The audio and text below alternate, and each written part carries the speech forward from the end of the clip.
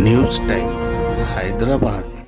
अपने देश के हित में अपने प्राइम मिनिस्टर साहब ने भी ये ऐलान किया कि संडे, मार्च 22 के दिन सुबह सात बजे से लेकर रात नौ बजे तक पूरी जनता अपने आप घर में बंद कर ले।